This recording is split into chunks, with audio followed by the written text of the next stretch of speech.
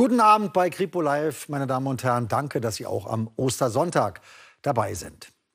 Etwa ein Jahr haben wir darauf gewartet, dass wir Ihnen diese Fotos zeigen können. Jetzt ist es soweit. Die Kripo Görlitz fahndet bei Kripo Live mit den Bildern nach einer Frau und zwei Männern, die zwischen Juni 2018 und Januar 2019 in Görlitz, Heidenau, Kamenz und Dresden mit Betrügereien in Banken aufgefallen sind. Eine Überwachungskamera dokumentiert, wie dieser Mann eine Filiale der Deutschen Bank in Görlitz betritt. Er gehört zu einer Betrügerbande. Sein Ausweis ist gefälscht und er gibt sich als Kontobevollmächtigter oder Geschäftsführer tschechischer Firmen aus. Selbstbewusst hebt er von den Konten der Firmen Geld ab. Im Juni und Ende 2018 und Anfang 2019 ist es in Görlitz, Kamenz, Heidenau und Dresden zu insgesamt sechs Fällen von versuchten und auch vollendeten Betrügen in Geldinstituten gekommen. Schon mehrfach standen Geldinstitute in Görlitz und Umgebung im Visier tschechischer Betrüger. Seit mehr als zehn Jahren gibt es hier immer wieder Fälle dieser Betrugsmasche. In dieser Filiale der Deutschen Bank am Demiani-Platz meldet sich am 19. Juni 2018 der gesuchte Mann am Schalter. Gegenüber einer Bankangestellten versucht sich der Betrüger mit einem Ausweis zu legitimieren. Der Ausweis ist gefälscht. Mitarbeiter der Firma, geschweige denn Geschäftsführer, ist der Mann nicht. Die Täter gaben sich in allen Fällen als Geschäftsführer oder Kontobevollmächtigte von tschechischen Firmen aus.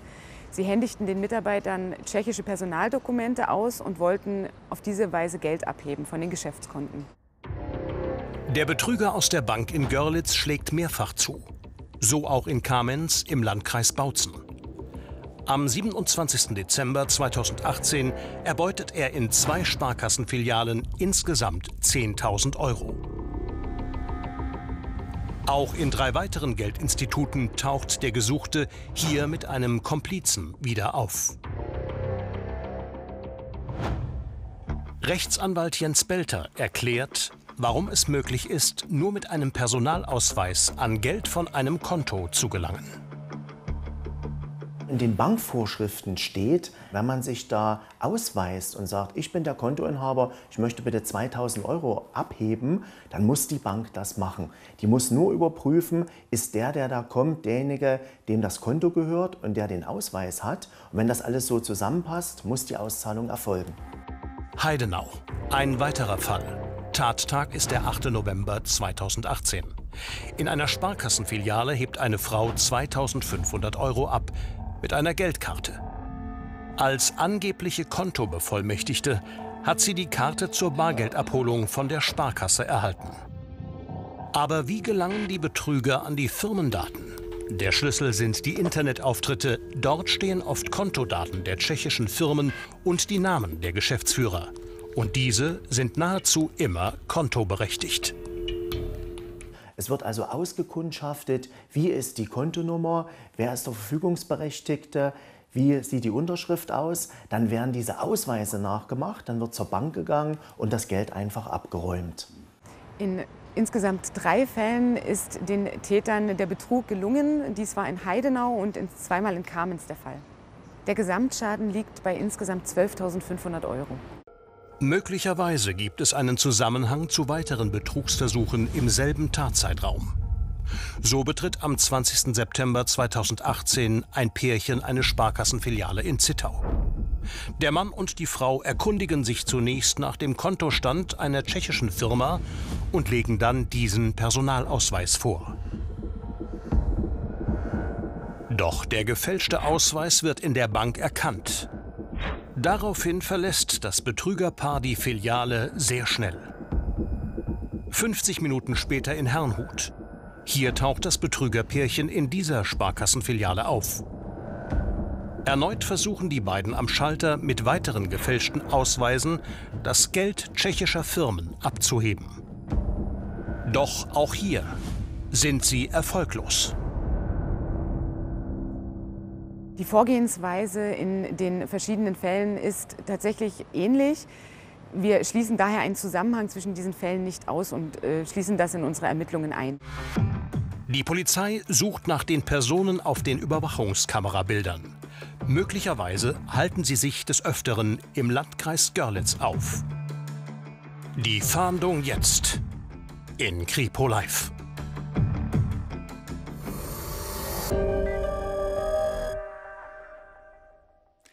Die tatverdächtige Frau war etwa zwischen 30 und 40 Jahre alt. Sie hatte langes Haar mit gebleichten Spitzen und einem dunklen Ansatz. Außerdem trug sie eine dunkel gerahmte Brille, eine Jeans mit weißem Gürtel, braune Stiefel und eine braune Jacke. Einer der Männer, etwa 35 bis 45 Jahre alt, trug sein Haar sehr kurz und hatte einen Vollbart. Sein mutmaßlicher Komplize war zwischen 40 und 50 Jahre alt und hatte langes, dünnes, mittelbraunes Haar. Er trug eine dunkle Brille. Hinweise bitte an die Kripo Görlitz. 03581 468 100 ist die Telefonnummer. Jetzt geht es wieder einmal um Planenschlitzer, die es auf Parkplätzen auf Lkw-Ladungen abgesehen haben. Im folgenden Fall haben sie mehr als 100 Fahrräder auf einen Schlag gestohlen. Täter, die nachts von Lkw die Ladung stehlen. Nahezu täglich erscheinen wieder mehrfach Meldungen wie diese in Mitteldeutschland. Gestohlen werden meist hochwertige Güter in großer Stückzahl. Die Täter sind Ladungsdiebe, sogenannte Planenschlitzer. Im Landeskriminalamt Sachsen-Anhalt beobachtet man die aktuelle Entwicklung mit Sorge. In den letzten Tagen haben wir wieder einen leichten Anstieg äh, von Angriffen auf LKWs entlang der Autobahn in Sachsen-Anhalt feststellen können. Das betrifft bei uns also die A2, die A9 und die A14. Ein Tatort, der Parkplatz an der A9 Köckern Ost in Fahrtrichtung Berlin. Betroffen ist der LKW einer Spedition, der vollbeladen von München durch Sachsen-Anhalt mit Fahrziel Potsdam unterwegs ist. In der Nacht vom 23. auf den 24. Februar 2021 macht der Fahrer auf dem Autobahnrastplatz eine Pause. Er verbringt wie die allermeisten seiner Kollegen die Nacht größtenteils im Fahrerhaus seines LKW. Doch das schreckt die Planenschlitzer nicht ab. Nach bisherigem Stand der Ermittlungen befand sich der Fahrer zur Tatzeit in seinem Führerhaus. Warum er von der Tat selbst nichts mitbekam, ist derzeit noch unklar. Irgendwann in der Nacht kommen die Täter. Sie schlitzen die Plane an einigen Stellen auf, um zu sehen, welche Ladung auf dem LKW ist. Alles ist genau geplant und läuft immer nach demselben Muster ab. Typisch ist äh, als Vorgehensweise, ähm, dass zunächst kleinere Gruppen äh, Autobahnen, Rastplätze ausspionieren dort Probeschnitte an Lkw-Planen vornehmen. Also das heißt, kleine Schnitte von ca. 20, 30 cm werden an den Plan vorgenommen. Mit Taschenlampen wird der Innenraum ausgeleuchtet. Unter Umständen wird an den Verpackungen erkannt, welche Ware sich darauf befindet. Und wenn sie den Tätergruppen für interessant erscheinen, kommt eine, eine weitere Gruppe dazu. Die kommen dann mit Kleintransportern. Die Schlitze werden größer oder um, unter Umständen wird die Plane großflächig geöffnet und innerhalb von kürzester Zeit werden die Waren entwendet, umgeladen und nach zwei, drei Stunden befinden sich die Waren bereits im Ausland. Genauso ist auch mit ziemlicher Sicherheit die Tat auf dem Autobahnrastplatz Köckern Ost abgelaufen. Die Lkw-Ladung hier bestand aus 130 Fahrrädern und E-Bikes. Aufgrund der Vielzahl der entwendeten Fahrräder gehen wir davon aus, dass es sich um mehrere Täter gehandelt haben muss. Diese müssen zudem über mehrere Fahrzeuge verfügt haben, die wahrscheinlich neben der Aufnahme der Ladung auch für Ausspäh und Wachposten genutzt wurden. Nur noch wenige Kisten mit eingepackten Fahrrädern sind auf dem LKW zurückgeblieben. 115 Räder sind gestohlen. Der Gesamtschaden beträgt rund 84.000 Euro. Doch auch wenn der Schaden in nahezu jedem Fall enorm ist, rät die Polizei betroffenen Lkw-Fahrern zur Vorsicht. Die direkte Konfrontation mit den Tätern sollte unbedingt vermieden werden. Wir raten mit Nachdruck dazu, dass etwaige Lkw-Fahrer sich den Täter nicht selbst in den Weg stellen. Vielmehr sollten sie auf Kommunikationsmittel zurückgreifen. Das bedeutet erstens zeitnah die Polizei zu informieren und zweitens gegebenenfalls die Täter zu fotografieren oder zu videografieren.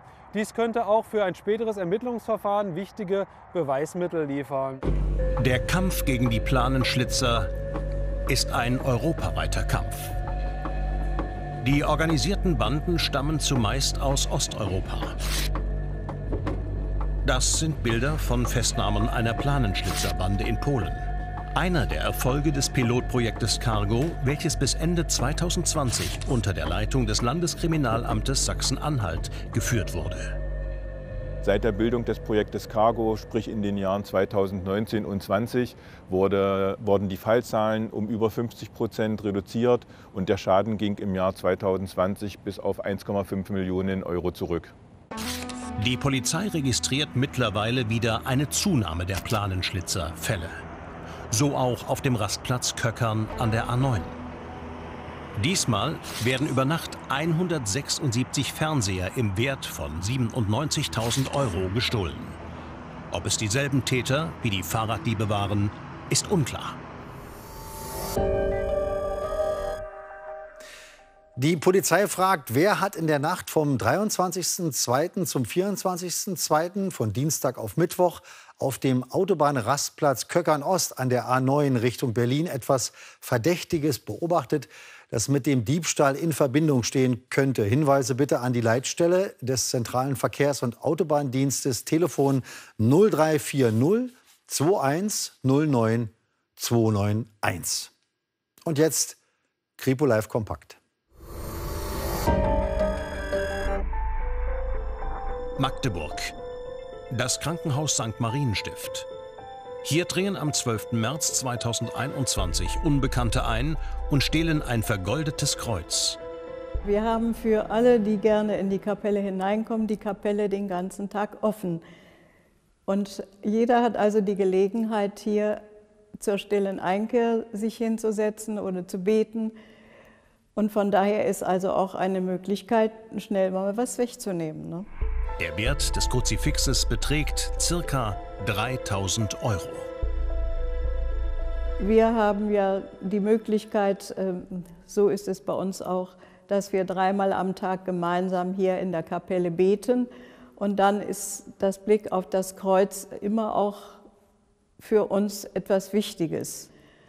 Und von daher ist es eben besonders traurig, wenn wir dieses Kreuz hier nicht mehr stehen haben. Die Ordensschwestern hoffen, dass die Person, die den Diebstahl begangen hat, das Kruzifix zurückbringt. Für Ihre Hinweise wenden Sie sich bitte an das Polizeirevier Magdeburg unter der Telefonnummer 0391 546 3295. Sondershausen Großfurra. Diese Katze wurde Opfer von Tierquälern. Am 23. Februar 2021 ist das Tier wie immer draußen unterwegs, als es Opfer eines Angriffs wird. Eine unbekannte Person schießt mit einem Luftgewehr auf die Katze, die dadurch schwer verletzt wird. Die Besitzerin bringt das Tier zu einer Tierärztin, die der Katze ein Diabolo-Geschoss aus dem Rücken entfernt. Die Katze wurde in der Gegend Burgmühlenstraße in Großfurra angegriffen. Wenn Sie etwas gehört oder gesehen haben, wenden Sie sich bitte an die Polizei Sondershausen unter der Telefonnummer 03632 661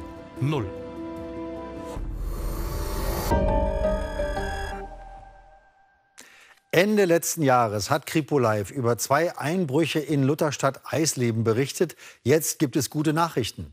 Die Fälle sind aufgeklärt. Aber trotzdem bittet die Polizei um ihre Hilfe. Denn beim Täter wurde Diebesgut gefunden, dessen rechtmäßige Eigentümer gesucht werden. Am frühen Morgen des 19. Juli 2020 sendet die Überwachungskamera eines Hauses in Lutherstadt Eisleben diese Bilder an den Hausbesitzer Max Krull. Der ist zu dieser Zeit im Kurzurlaub. Als er die Aufnahmen sieht, fährt er sofort nach Hause und ruft die Polizei. Bei seiner Ankunft ist der Täter längst weg. Die Überwachungskameras auch. Denn der Täter hat sie abmontiert, bevor er die Tür zum Haus aufbricht. Als wir hier angekommen sind, haben wir es dann leider gesehen. Tür stand auf und die ganze Wohnung wurde durchsucht. Der Täter nahm alles mit, was sich zu Geld machen lässt. Teil seiner Beute sind unter anderem mehrere Spielkonsolen, über 50 Videospiele, ein Fernseher und Bargeld. Seine Beute hat er in einen Transporter verladen und damit den Tatort verlassen.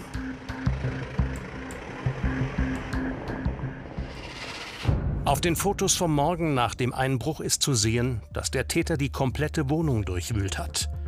Die Haustür ist so zerstört, dass sie ersetzt werden muss. Dem Hauseigentümer entsteht ein Schaden von ca. 11.000 Euro. Am 29. November 2020 berichtet Kripo Live über diesen und einen weiteren Einbruch in Eisleben, hinter dem die Polizei denselben Täter vermutet. Eine Frau aus Eisleben sieht die Sendung und stellt erschrocken fest, dass ihr der Täter bekannt vorkommt. Zwei Tage nach der Ausstrahlung entscheidet sie sich, die Polizei zu informieren. Über die Homepage der Sendung findet sie die Telefonnummer und gibt an, was sie zur gesuchten Person weiß. Der Hinweis der Zuschauerin war sehr maßgeblich für die Aufklärung. Wir haben einen Wohnungsdurchsuchungsbeschluss erwirken können für die Täterwohnung. Wir haben dort den Täter auch angetroffen. Äh, die Durchsuchung erbrachte sehr viel Diebesgut, was wir verschiedenen äh, Wohnungseinbruchsdiebstählen zuordnen konnten. Unter den gefundenen Gegenständen waren auch einige Geräte und Spiele von Max Krull. Den weitaus größeren Teil der bei ihm gestohlenen Sachen hatte der Dieb schon verkauft. Trotzdem ist Max Krull froh, dass der Täter ermittelt ist. Der zweite Gedanke war, kenne ich die Person, möchte ich wissen, wer es war und war dann aber trotzdem sehr erleichtert, dass ich die Person nicht kenne. Aber es ist erschreckend, wie nah die Person eigentlich hier in der Gegend wohnt. Der Täter ist ein 40-jähriger Mann aus Eisleben. Durch das sichergestellte Diebesgut konnte ihm die Polizei bisher elf Einbrüche in der Stadt nachweisen. Außerdem fünf Abhebungen mit einer gestohlenen Kreditkarte. Bei der Wohnungsdurchsuchung wurden auch mehr als 300 Schmuckstücke sichergestellt. Die Polizei vermutet, dass sie aus weiteren bisher nicht bekannten Straftaten des Mannes stammen. Denn nur wenige Schmuckstücke konnten Geschädigten zugeordnet werden. Wir hatten die Geschädigten bei uns auf der Dienststelle. Hierbei war ein sehr emotionaler äh, Moment auch dabei. Eine ältere Dame, über die 80 Jahre, die ihren persönlichen Schmuck wiedergefunden hat, wiederentdeckt hat und äußerst dankbar war und auch sehr den Tränen nahe war. Und sie hat mich gebeten, Ihnen und den Zuschauern den Dank auszurichten, dass Sie für die Aufklärung oder dass Sie zu der Aufklärung beigetragen haben. Die Polizei möchte die Schmuckstücke an ihre Eigentümer zurückgeben. Wenn Ihnen hier etwas bekannt vorkommt, und Sie Hinweise geben können, wenden Sie sich bitte an die Polizei in Lutherstadt Eisleben. Telefon 03475 670 293. Bestellen Sie auch gern im Internet. Durch Corona boomt der Onlinehandel. Um rund 20 Prozent nahm der im vergangenen Jahr zu. Von diesem Wachstum wollen auch Internetbetrüger profitieren, wie uns auch eine Zuschauerin schrieb, die uns auf eine spezielle Masche bei eBay Kleinanzeigen aufmerksam machte. Platz schaffen im Haus für eine neue Couch. Das ist der Plan von Beatrice Zutnik. Deshalb erstellt sie ein Verkaufsangebot bei eBay Kleinanzeigen für ihre alte, noch gut erhaltene Sitzgarnitur. Schnell sind ein paar Fotos davon gemacht. 200 Euro soll die Couch noch bringen. Ja, nach kurzer Zeit hatte sich dann auch ein erster Interessent gemeldet. Ähm, ja, wir wurden uns auch relativ schnell über den Preis einig. Und ja, er sagte mir, dass er auf einem Schiff arbeite und deswegen nicht in der Lage sei, die Couch selber abzuholen. Ja, aber er würde quasi ein Transportunternehmen besorgen, was dann ja, die Abholung veranlasst. Der Interessent führt die Kommunikation mit Beatrice Zutnik nun per E-Mail weiter. Er schreibt, Probleme mit seinem Konto zu haben und bittet um eine Vorabüberweisung von Transportkosten in Höhe von 490 Euro. Nicht an ihn selbst, sondern an einen Dritten mit belgischer Bankverbindung. Sein Name Ayodeshi Schmitz.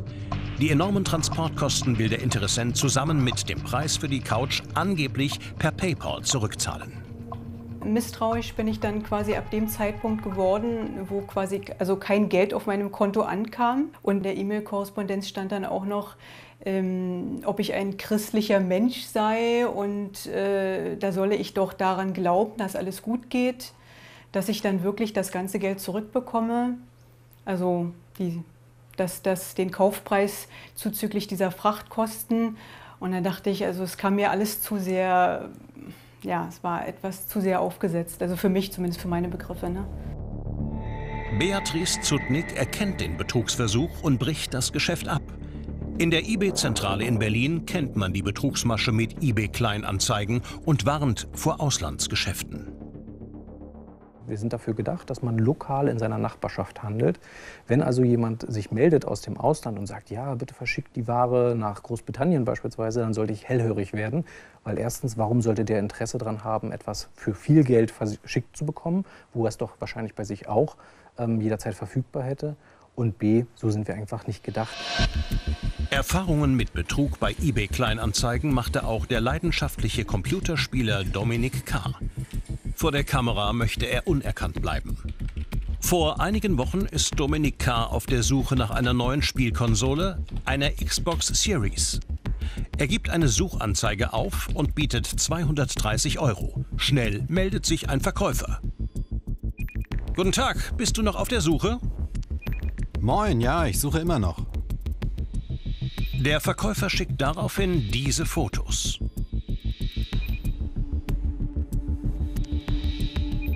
So wie ich das sehe, ist die noch original versiegelt, oder? Genau. Für 220 Euro kaufe ich die sehr gerne. Nun erklärt der angebliche Verkäufer, dass sein Konto gepfändet sei und er deshalb das Konto einer Verwandten nutzen will. Also meine Tante hätte noch ein zweites Konto, sie weiß aber nicht, ob dies noch aktiv ist. Vielleicht können Sie versuchen, einen Cent drauf zu senden.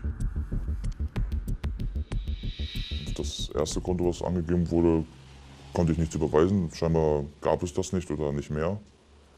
Und auf das zweite Konto, das hat funktioniert denn. Das war dann der angebliche Vater. Es war auch irgendwie wichtig, dass es eine Echtzeitüberweisung war, dass das Geld sofort drauf war und es sofort abgeholt werden konnte. Ja, es war irgendwie, weiß ich nicht. Ich dachte mir, das ist ein gutes Angebot, das kann ich mir nicht entgehen lassen. Wer weiß, ob ich das nochmal kriege. Nachdem Dominik K. die 220 Euro überwiesen hat, wird er hingehalten. Dann bricht der Kontakt ab. Die Xbox erhält er nicht. Dominik K. erstattet Strafanzeige. Die Polizei in Stendal ermittelt wegen Betruges. Wenn am Ende der Preis zu günstig sind, dann sollten die Alarmglocken wirklich schon anschlagen und man sollte sagen, hier stimmt irgendwas nicht, hier ist etwas faul und das kann so nicht stimmen. Die Polizei rät, beim Handel ist persönlicher Kontakt immer am sichersten.